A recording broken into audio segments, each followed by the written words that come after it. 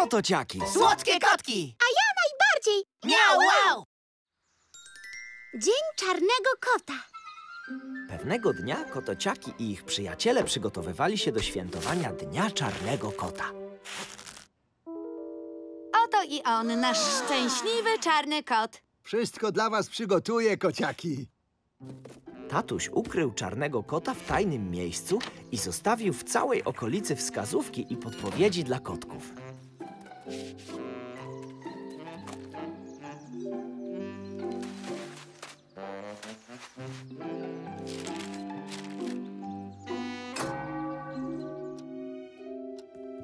Hehe. A teraz, kotki, jeśli uda się wam znaleźć kota przed szóstą, wówczas zgodnie z legendą będzie wam dane złapać szczęście za ogon. Miau, wow, miau, wow, miau, wow, miau, wow! Patrzcie! O, Ślad! ha! Kot jest w piaskownicy! Trudno uwierzyć, że mógł się schować w takim pudełeczku. Ta, to mój gwizdek! Jest bardzo, bardzo ładny i błyszczący. A, to pewnie jest jakaś podpowiedź dla nas. Może trzeba w niego dmuchnąć. O! Hej, ten gwizdek jest nam potrzebny, to wskazówka!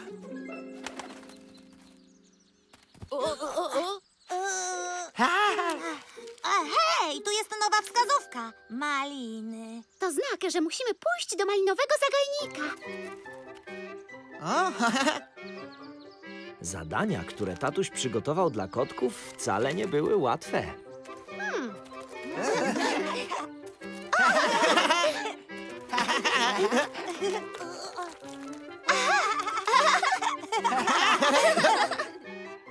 Ale dzięki wspólnej pracy udało im się dotrzeć do ostatniej wskazówki. Czarny kot musi się skrywać w naszym domu. Biegniemy szybko! Zaczekajcie, a gdzie Kleksik? Kleksiku! Może przez przypadek zasypaliśmy go w piaskownicy? a może sroka porwała kleksa do swojej dziupli?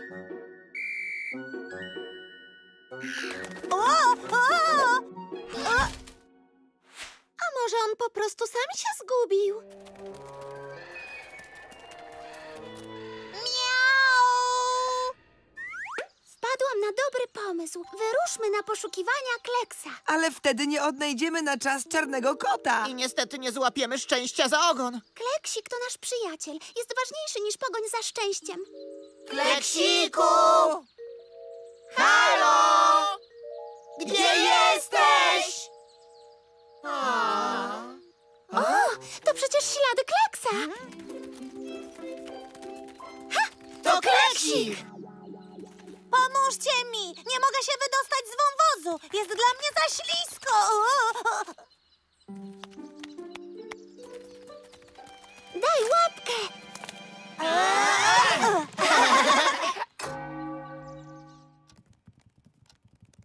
Ech, nie udało się wam na czas znaleźć czarnego kota. To przez to, że kleks nam zaginął. Ale uratowaliśmy go! Postąpiliście bardzo słusznie. Hehe, tak się składa, że nasz kleks jest czarnym kotem, a wy znaleźliście go przed szóstą. To znak, że złapaliście szczęście za ogon. A oto wasza nagroda. Czekoladowe kotki z wróżbą na patyczku. Ale fajnie! Miau, wow, miau, wow, miau, wow, miau, wow! Um, mamusiu, czy przeczytasz mi moją wróżbę? W tym roku spodziewaj się wielu dobrych chwil. Wkrótce czeka cię wiele ciekawych wydarzeń. Masz wspaniałych przyjaciół, którzy zawsze cię wesprą. To będzie bardzo dobry rok dla wszystkich, będą pełne a dla. Kleksika szczególnie, ponieważ największym szczęściem jest paczka wspaniałych przyjaciół. Sny na życzenie. Pewnego poranka kotociaki opowiadały sobie, co im się śniło. Mnie śniło się dzisiaj, że pływałem małą łódką po rzece. A mnie się śniło, że mierzyłam śliczną sukienkę. A mnie, że jadłem cukierka większego niż moja głowa.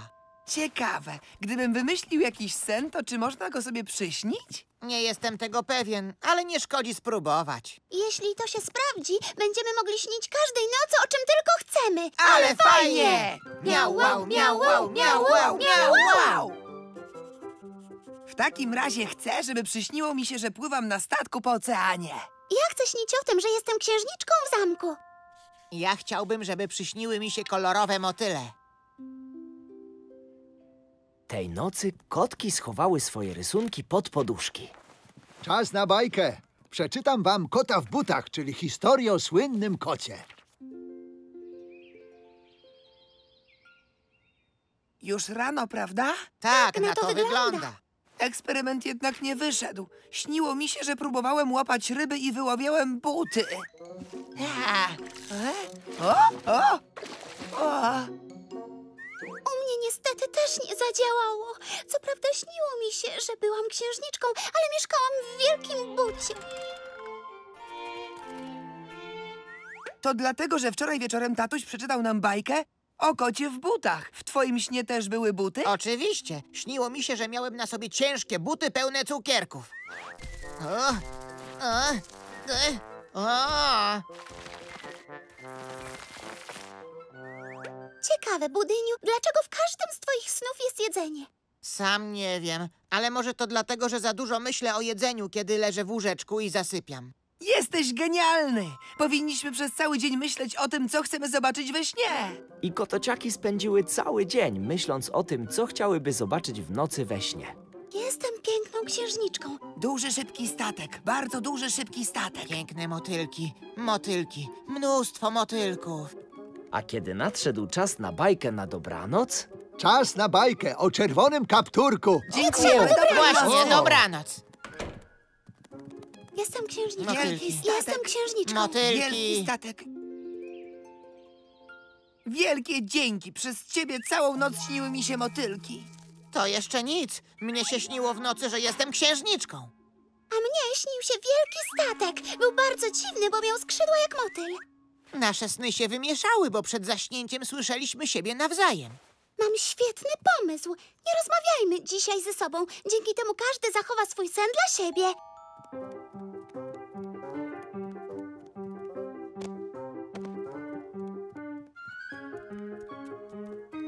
Kotki bardzo starały się skupić na swoich snach i bardzo się tym zmęczyły.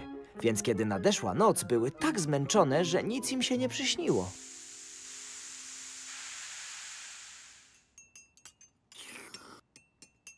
Wczoraj praktycznie cały dzień myśleliśmy o tym, co chcielibyśmy zobaczyć we śnie, ale nic z tego się nie przyśniło. Zupełnie nie rozumiem, dlaczego nie można mieć snów na życzenie. Ha, może dlatego, że to niemożliwe, Pianko. Nasze sny to tajemnicze i niezwykłe niespodzianki. I dlatego są takie fajne. A jeśli chcecie, żeby sny były ciekawe i pełne wrażeń, musicie w ciągu dnia robić ciekawe i fajne rzeczy. Dzięki temu zdobywacie nowe doświadczenia. Hej, to, to prawda! prawda! Miau, wow, miau, wow, miau, wow, miau, wow!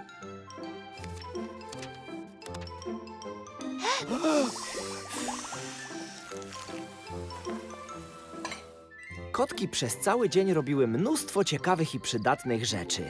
Wieczorem, z głowami pełnymi nowych doświadczeń, szybko zasnęły. A w ich kolorowych snach pojawiły się niespotykane dotąd zaskakujące i fascynujące rzeczy.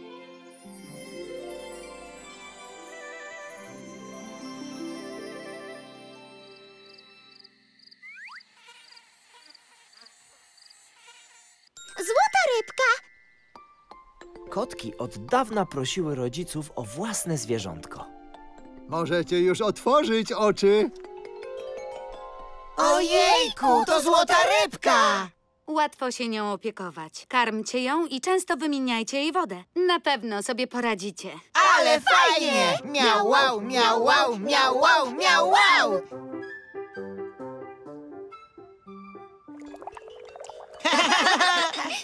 Chłopcy, musimy się dobrze zaopiekować naszą rybką. Najpierw ją nakarmimy. Dajmy jej dużą kromkę chleba. Nie, no coś ty, kto by karmił rybkę chlebem? Proponuję dać jej coś naprawdę pysznego. I kotki przyniosły rybce kawałek pysznego tortu tatusia. Proszę, rybko, i smacznego. Nie, zaczekaj!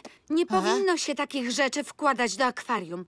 To jest specjalna karma dla rybek. Rybki nie jedzą dużo. Dajcie jej tylko szczyptę, to wystarczy.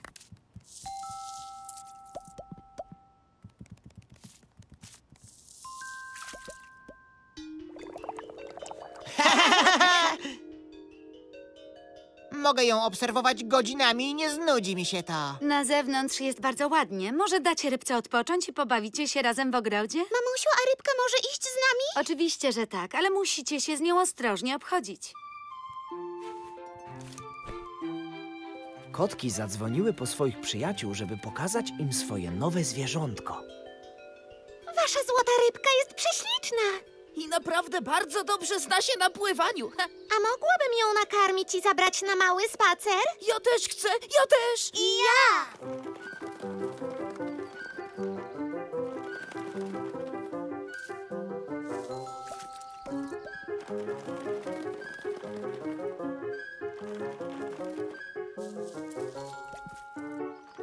Borysie, twoja kolej już minęła, teraz ja chcę.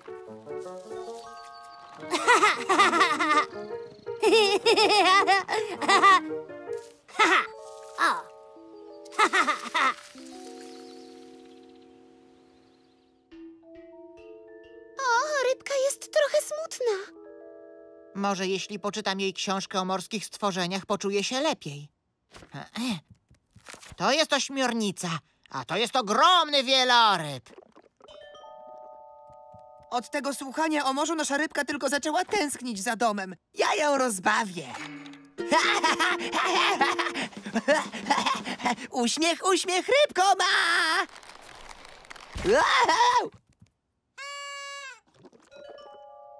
A może rybka jest głodna?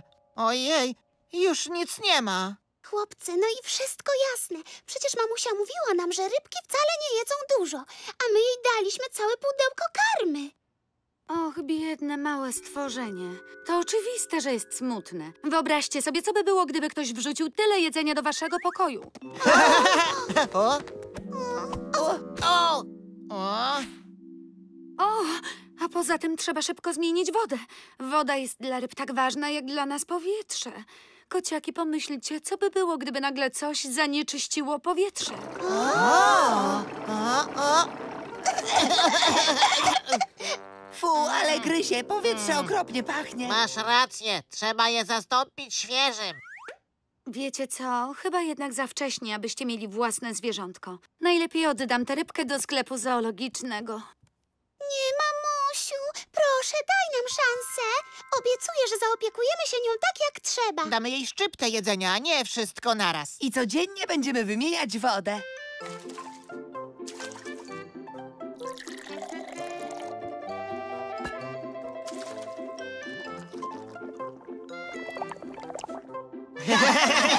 Widzicie, kochani? Teraz rybka czuje się o wiele lepiej. A ten tęczowy łuk umieścimy w akwarium, żeby podtrzymać jej dobry humor. Co wy na to? Ale fajnie! Miau, wow, miau, wow, miau, wow, miau, wow! I tak złota rybka została nowym członkiem rodziny, a kotociaki nauczyły się odpowiedzialności i dbania o swoje zwierzątko. Telefon. Pewnego radosnego dnia kotociaki bawiły się z przyjaciółmi na placu zabaw. Nieco później dołączył do nich lukier. miau, miau. Miau, miau! Popatrzcie, co właśnie dostałem od taty. To telefon!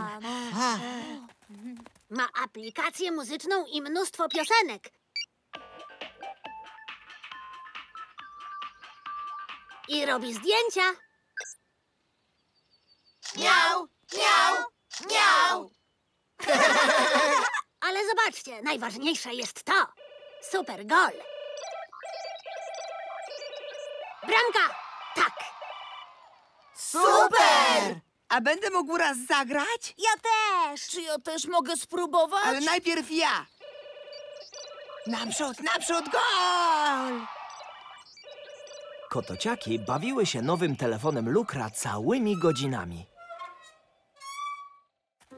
Zapytam Lukra, czy mogę pożyczyć jego telefon po obiedzie i zrobić zdjęcie mojemu ślimakowi. A potem Ja go pożyczę, żeby słuchać ulubionych piosenek. A ja chcę dokończyć turniej cyberpiłki. Zaczekajcie. Au!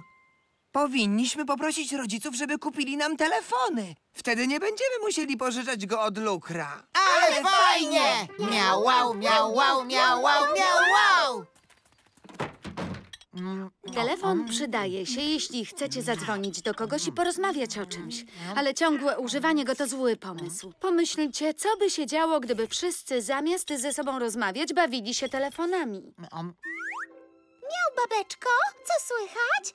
Co nowego u ciebie? Dzień dobry, Bianko. Nawet nie wiesz, ile rzeczy się wydarzyło. Albo gdyby wszyscy słuchali swoich telefonów zamiast prawdziwej muzyki.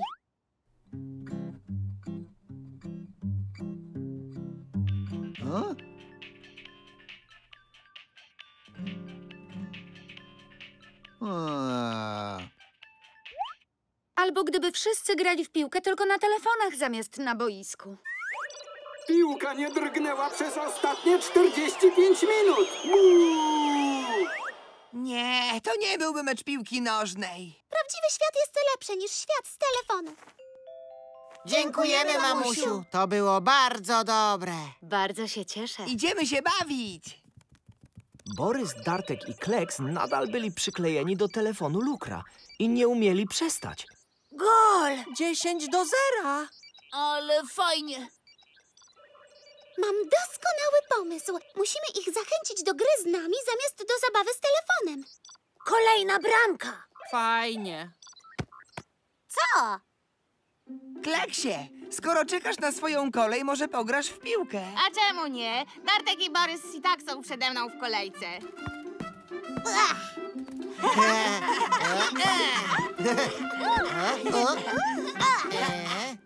Gol! Patrzcie, ale zabawa. Borysie, idę pograć. Daj znać, kiedy moja kolej.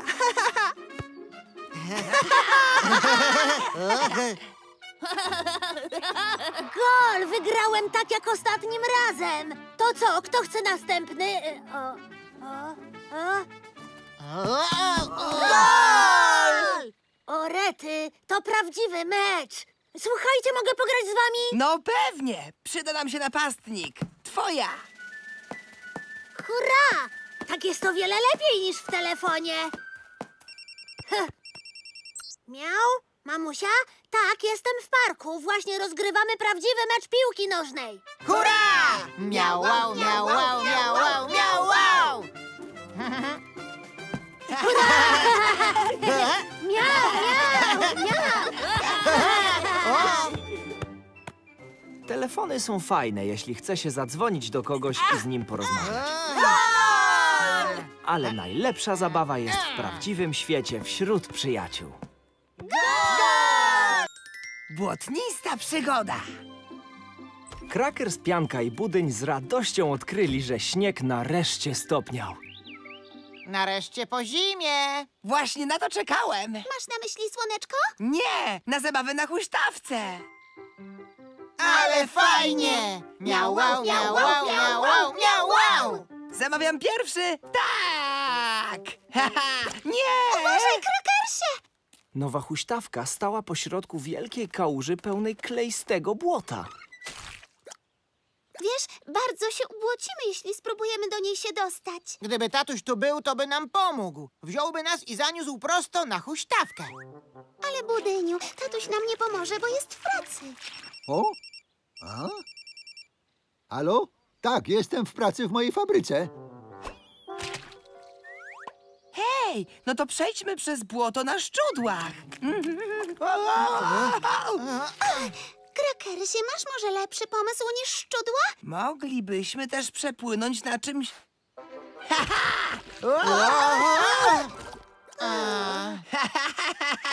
I co zrobimy? Wiem, jak możemy się tam dostać.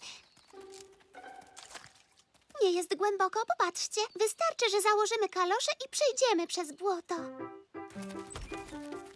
Kotociaki pojawiły się z uśmiechami na pyszczkach i kaloszami na nóżkach. Ale babeczka i kleks też chcieli obejrzeć nową huśtawkę. Babeczko, chodźmy! Uważaj, Kleksiku! Jeśli mnie ochlepiesz błotem, nie będę taka ładna. Miau, miau! pyszne błoto. Pianko, chciałabyś się huśtać pierwsza? Tak, dziękuję, babeczko. Czuję, że to będzie dobra zabawa.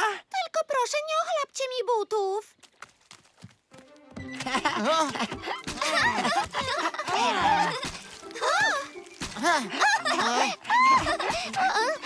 Wow! O nie, wszyscy jesteśmy brudni. Nawet kleks, chociaż stał daleko od huśtawki. Nie śmiej się z mojej sukienki. I z mojej koszulki.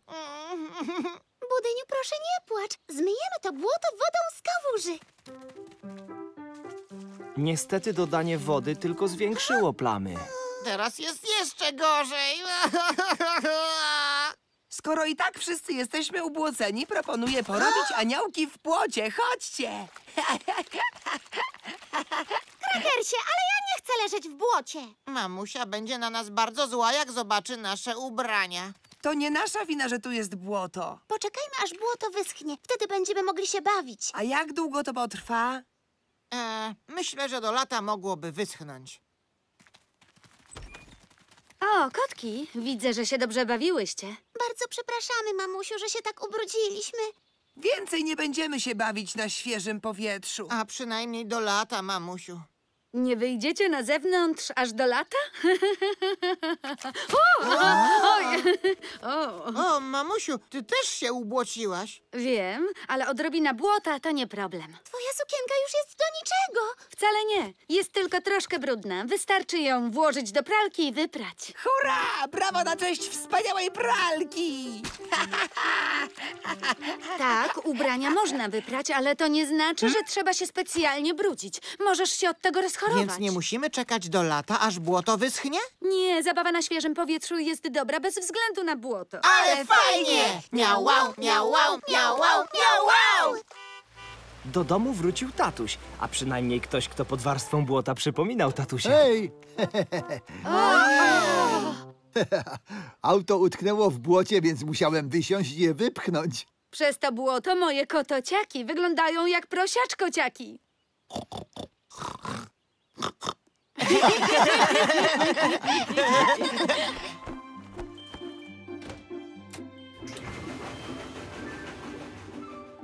Pralka szybko poradziła sobie z całym błotem na ubraniach. I rodzinka mogła wrócić do zabawy na świeżym powietrzu. I nikt się nie przejmował odrobiną błota. Galeria sztuki. Kotociaki łapały motyle i nagle poczuły głód, kiedy natknęły się na koleżankę musztardkę. Dzień dobry, musztardko! O, cześć. Mm, Co dobrego jesz? Najpyszniejszy eklerek w historii świata.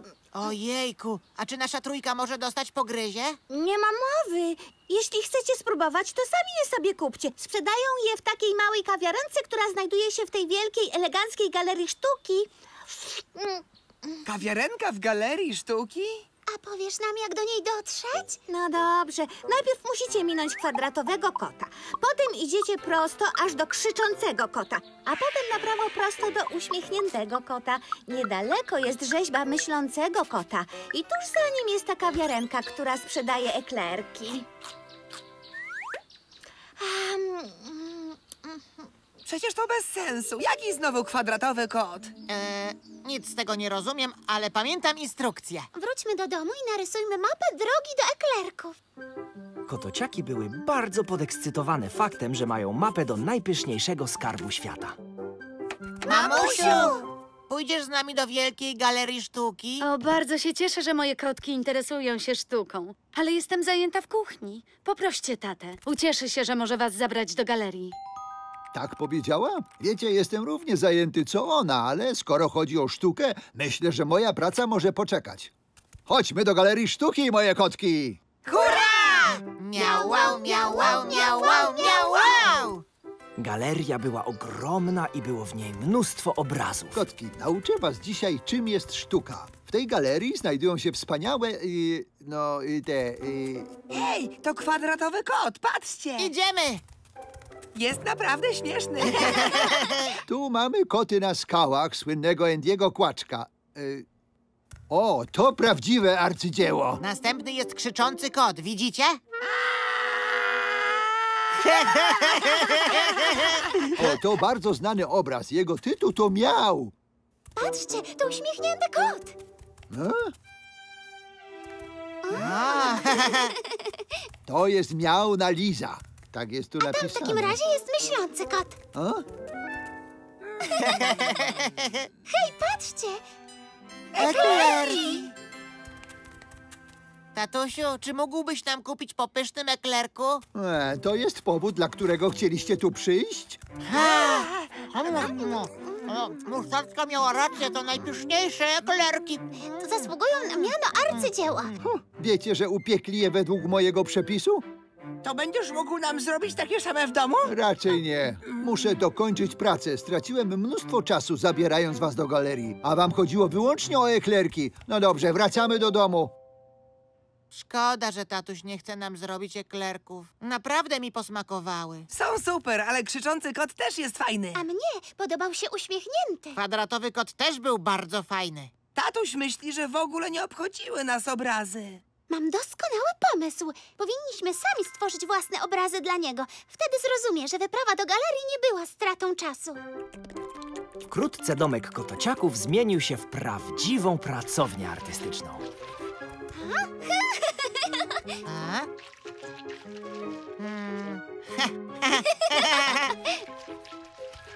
A co wy tu wszyscy robicie? O, kotki jak przeuroczo. Powieśmy te dzieła w naszym domu i stwórzmy własną galerię. Moje kotki, nawet nie wiecie, jak bardzo podobają mi się wasze dzieła. Chciałbym wam podziękować smakołykami. Eklerki!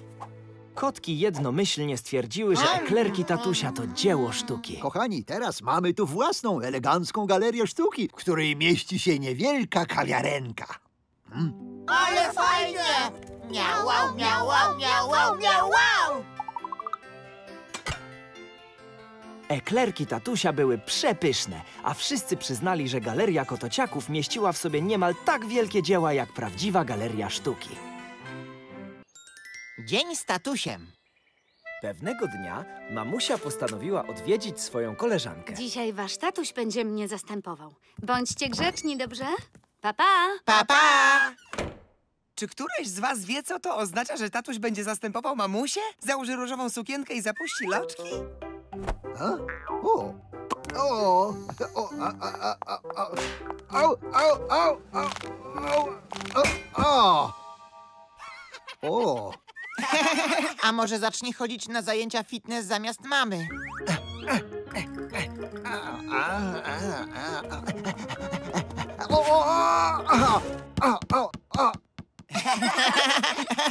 Nic z tych rzeczy. To oznacza, że to nie mamusia, ale tatuś będzie się nami dziś zajmować. Ale fajnie! Miałał, miałał, miałał, miałał!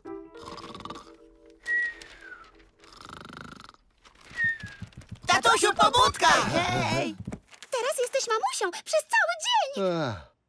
No dobrze, chodźcie z mamusią tatusiem. Tatuś przyrządził kotkom ich ulubione eklerki. Mm, mm, mm, ale są pyszne. To lepsze śniadanie niż owsianka. Fajnie, kiedy tatuś zastępuje mamusię. Aha.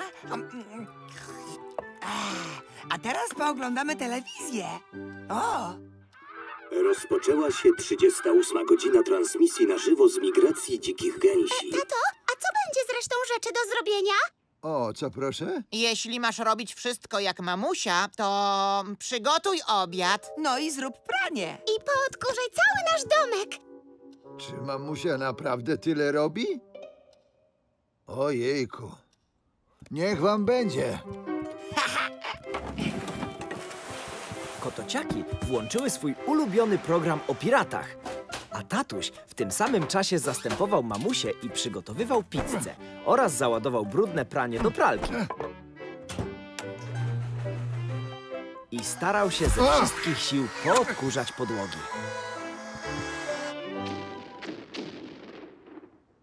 Ale niezwykłe efekty. Praktycznie czuć zapach dymu za każdym razem, gdy strzelają z armat. To nie z telewizji, coś się gdzieś pali. Ła, co tu się dzieje? Nasza pralnia wypełniła się bąbelkami. A, mamo? Zaraz, to nie mama, to... Tatusiu!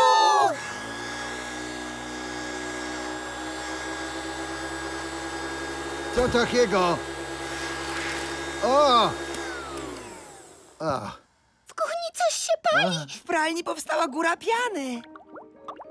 ojejciu. Nie, nie, nie. O, na, nasza pizza. A, parzy, parzy. A jaka ze mnie niezdara. Przez to całe sprzątanie i pranie zapomniałem o pizzy. Obowiązki mamusi są trudniejsze niż się wydaje, prawda?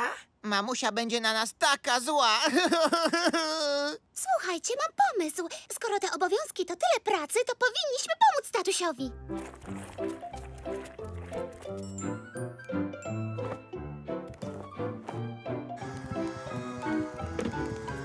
Z pomocą kotociaków tatuś zdołał wykonać wszystkie domowe obowiązki. Mamusia, wróciłaś! Miał, jak wam minął dzień przed telewizorem? Wcale nie. Pomagaliśmy tatusiowi w praniu. I w odkurzaniu. I upiekliśmy pyszne ciasto. Tatuś bohater, nie tylko zająłeś się kociakami, ale również całym domem? O, a czy spodziewałaś się czegoś innego po takim super tatusiu jak ja? To było tak, jakby tatuś zamienił się w mamusię. Ale wszyscy pomagali mi w byciu mamusią. W takim razie ja zamieniłam się w waszego tatusia i tak jak on, przyniosłam wam pyszny smakołyk. Truskawki i pycha! Ale fajnie! Miał wow, miał wow, miał wow, miał wow! Tatuś i kotociaki spędzili wspaniały dzień zastępując mamusię w obowiązkach. Ale najlepiej jest wtedy, kiedy cała rodzina może być razem. Pakowanie! Pewnego dnia tatuś powiedział, że wybiera się w delegację do innego miasta. Popatrzcie, to mój bilet na pociąg, który odjeżdża o trzeciej. Jadę na konferencję piekarnictwa. To wspaniałe i ekscytujące, mój drogi. Oj, mamy mało czasu.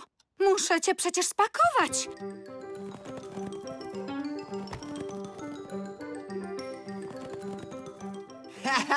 Biegają po domu jak nakręceni. To oczywiste. Pakowanie się na delegację to ważne zadanie.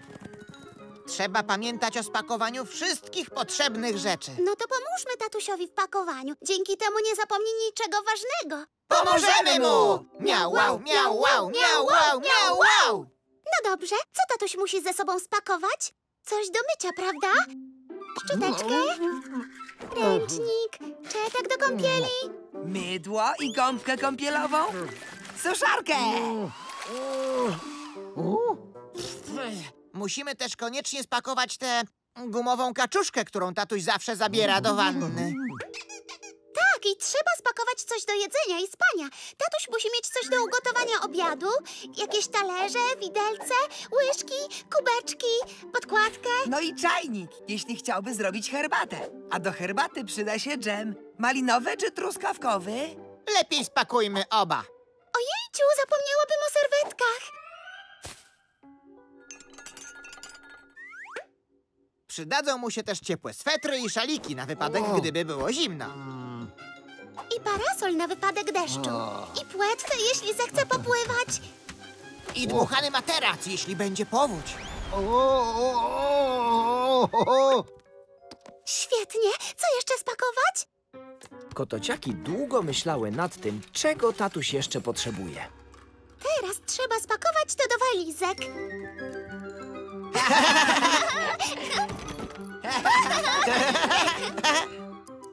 Jeszcze tylko kilka rzeczy. Teraz zostało tylko jakoś pozamykać walizki.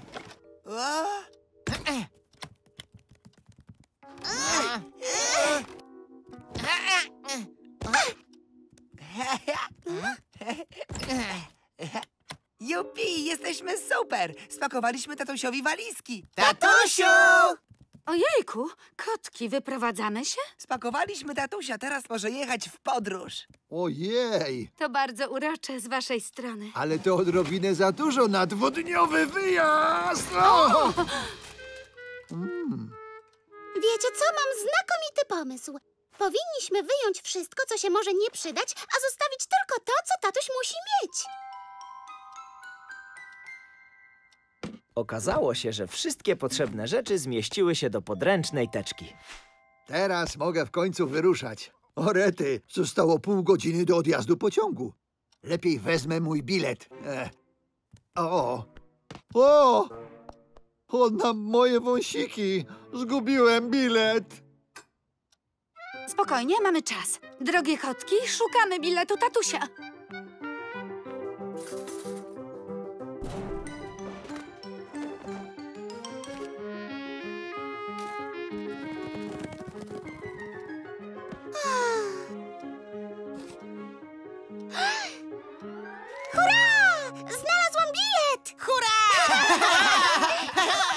Dziękuję wam, ale jest już za późno. Mój pociąg właśnie odjechał.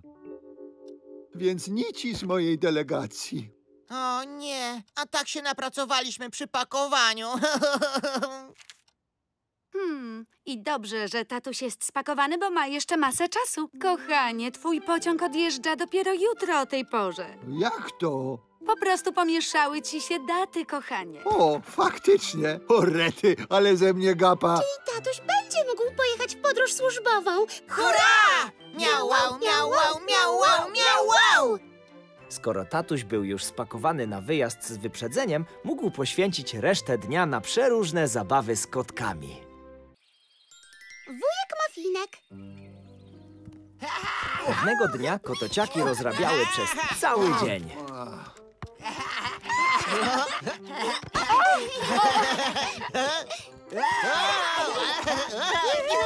A kiedy przyszła pora na sen, w ogóle nie chciały pójść do łóżek. Oddaję się. Przykro mi, ale nadszedł najwyższy czas. Chcesz, żebym po niego zadzwonił? Na pewno?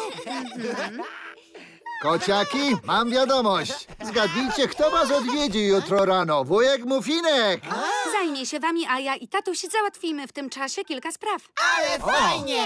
Miau, wow, miau, wow, miau, wow, miau, wow!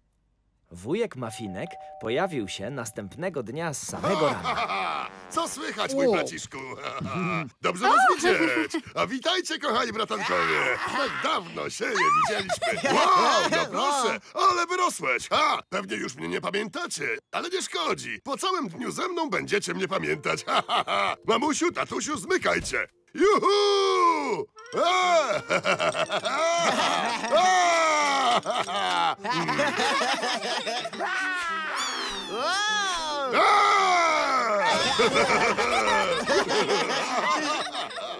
Okazało się, że wujek Mafinek gwarantuje dobrą zabawę. Bawił się z kotociakami tak, jakby sam był małym kotkiem i w ogóle nie przejmował się niczym. Zaczekajcie, przecież trzeba posprzątać te pióra. Sprzątanie to nuda! Zamiast sprzątać, poskaczmy na kanapie!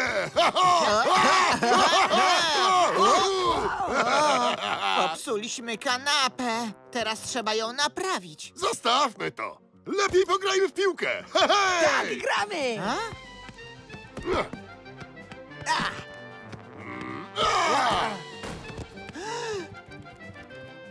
Wujku Mafinku, musimy z powrotem powiesić zegar. Lepiej poskaczmy sobie w kałużach!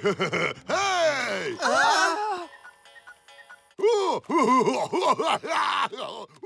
Wujek Mafinek okropnie się dziś zachowuje, nie sądzicie? Zamknijmy go na zewnątrz. Tam przynajmniej nic nie popsuje. A co będzie, jeśli popsuje nam drzwi? Hej! Ha! A może zaśpiewamy mu kołysankę i pójdzie spać? Dość wujaszku, oczka zmruż. Pora przestać broić już. Ja kocham broić dokazywać, to moje motto! Psotny kot! Psotny kot! Boję się, że kołysanka nam nie pomoże. Lepiej mu dać magiczne, usypiające cukierki. Psotny kot! Psot...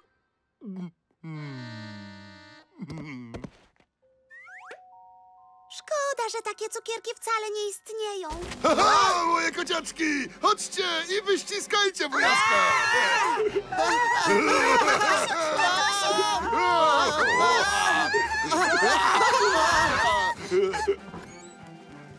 Mamusiu, tatusiu! Pomóżcie nam! Wujek Mafinek zachowuje się okropnie. Orety, naprawdę? Czyżby tak samo jak wczoraj zachowywały się pewne kotki? Jakie? A, masz na myśli naszą trójkę, prawda? Co? O nie! Nie chcę być taki jak wujek Muffin. Ja też nie, nie ma mowy. Mam w takim razie pomysł. Musimy być grzeczni i nie rozrabiać. Wtedy nie staniemy się tacy jak wujek Mafinek. Widzę, że nauczyliście się czegoś. Ja tylko odegrałem swoją rolę. Wujek Mafinek to utalentowany aktor. Zaprosiliśmy go, aby pokazał wam, jak wygląda ktoś, kto cały czas źle się zachowuje. Na co dzień wasz wujek Mufinek jest zupełnie innym kotem. Tatuś ma rację. Ja naprawdę zawsze słucham innych i słynę z nieskazitelnych manier.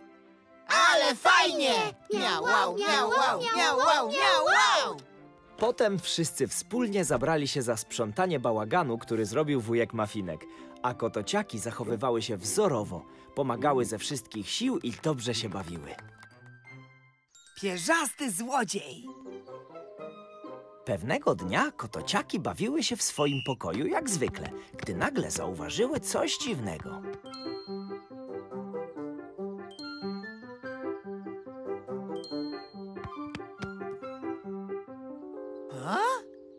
Budyniu, nie widziałeś mojego lśniącego gwizdka? Nie pożyczałeś go? Nie, to nie ja. Pianko, zginął mi mój nowy gwizdek. Poczekaj, najpierw muszę znaleźć moją drugą spinkę do włosów. Nie ma? Wziąłeś jej może? Nie mogę znaleźć mojej lupy. Pianko, to ty ją wzięłaś? A do czego byłaby mi potrzebna twoja lupa? Lepiej przyznajcie się, który z was zabrał moją spinkę. Ja nie wziąłem. Nie widziałem spinki, Pianko. Twojej lupy budyniu też nie. Ja tylko chcę odzyskać gwizdek. To kto zabrał moją spinkę? Oddajcie moją lupę, nie róbcie mi tak! Dzieciaki, co to za przekrzykiwania? Które z was moje kotociaki może mi powiedzieć, gdzie jest mój drugi kolczyk? My go nie wzięliśmy. Och, czyli w naszym domu był złodziej. Kochani, gdyby naprawdę zakradł się tu złodziej, zobaczyłbym go. O? Co jest? Przecież moja łyżeczka dopiero co tu była. Gdzie ona? O, wszystko jasne. W naszym domu grasuje złodziej. Musimy zorientować się, czego ten złodziej szuka. Ale przede wszystkim pomyślmy, co takiego zabrał. Łyżkę, kolczyk, lupę, spinkę, no i gwizdek. To była łyżka do galaretki, więc na pewno lubi jeść. Chociaż wszyscy lubią galaretkę, więc to nam nie pomoże. Złodziej zabrał też kolczyk. I moją drugą spinkę. To może oznaczać, że złodziej jest dziewczyną, prawda? A może zabrała moją lupę, ponieważ ma bardzo słaby wzrok? No i lubi sport, ponieważ zabrała mój gwizdek sędziego. Czyli w takim razie babcia jest złodziejem?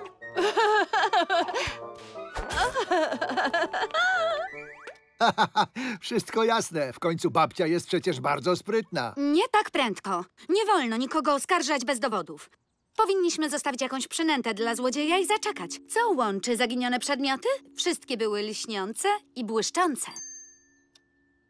Klucze tatusia też się błyszczą, więc stały się przynętą na złodzieja. Wszyscy wstrzymali oddech i wyczekiwali nadejścia intruza.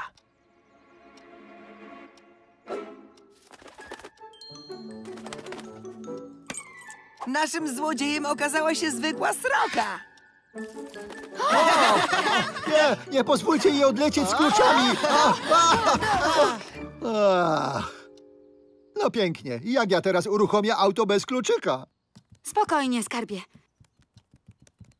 Nie panikuj. Chyba już wiem, gdzie mogą być wszystkie zaginione przedmioty. No i proszę. Znaleźliśmy skarbiec w dziupli. Nie tylko my padliśmy ofiarą pierzastej złodziejki. Kotociaki wezwały sąsiadów, którzy przybiegli na wieść o tym, że schwytano tajemniczego rabusia. Wielu z nich odzyskało błyszczące przedmioty. A, Zostały już tylko nasze rzeczy. Gotowi? Twój kolczyk. Lupa Budysia. Twoja spinka. Gwizdek. Moje klucze i łyżka. Skoro to już wszystko, wracajmy do domu.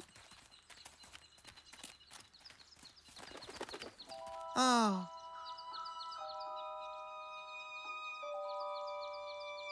Szkoda mi tej sroki. Ona naprawdę lubi błyszczące przedmioty, a nic jej w dziupli nie zostało. Hej, mam dobry pomysł. A może znajdziemy jakieś niepotrzebne błyszczące rzeczy i damy je sroczce? dzięki temu będzie miała własne błyskotki i nikt nie będzie próbował ich jej zabrać.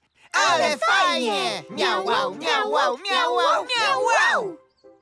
Kotociaki zostawiły sroce kapsel, który pięknie błyszczał.